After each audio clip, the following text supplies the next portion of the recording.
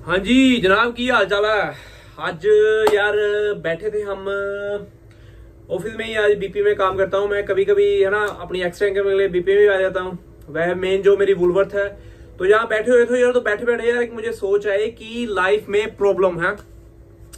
Problem life किसके नहीं आती यार प्रॉब्लम हर किसी की ज़िंदगी में कोई ना कोई प्रॉब्लम आती ही आती है, ठीक है ना?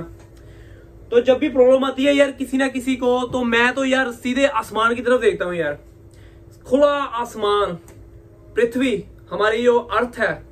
इतना गोला सा है यार इन फ्रंट ऑफ़ यूनिवर्स और इस छोटी सी पृथ्वी में हम रह रहे हैं, और छोटी सी पृथ्वी में से, अर्थ में से, एक छोटे से देश में, एक छोटा सा स्टेट एक छोटा सा शहर, एक छोटा सा, एक कॉलोनी और एक उस कॉलोनी में एक छोटा सा घर।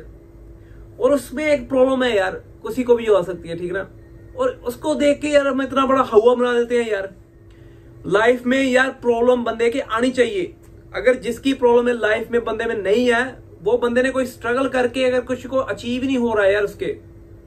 फ़ायदा ही नहीं है यार उसका कुछ।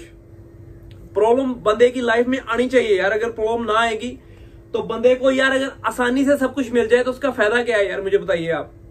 तो इसलिए मेरे हिसाब से तो प्रॉब्लम आनी चाहिए लाइफ में, ठीक है ना? और अगर प्रॉब्लम आए भी तो इतना सोचिए यार कि in front of universe we are nothing तो प्रॉब्लम आए, उनका डट के सामना करना है, कभी घबराना नहीं यार मुश्किल से। प्रॉब्लमें आती रहेंगी। ये नहीं कि प्रॉब्लम है, नहीं है, हमारी लाइफ किसी की भी परफेक्ट नहीं होती यार। प्रॉब्लम आती रहेगी और हमेशा ही आएगी। लेकिन मेन बात है कि आप उसको हैंडल कैसे करते हो यार?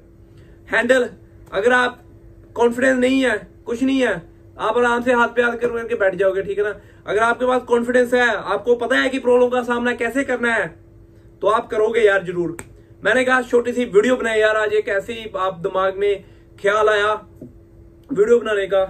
तो बैठे थे यार हम, बस, पाँच बजने वाले हैं तो अभी बस थोड़ी देर में काम फिनिश कर देना है। तो बस इजी था काम, आज पब्लिक हॉलीडे है तो आज पे रेट भी अच्छा मिलेगा ट्वेंटी तो टिल देन टेक केयर यार मिलते रहेंगे। खुदा ख्याल रखे आपने। भगवान आपको बहुत बहुत सदबुद्धि प्रदान करे।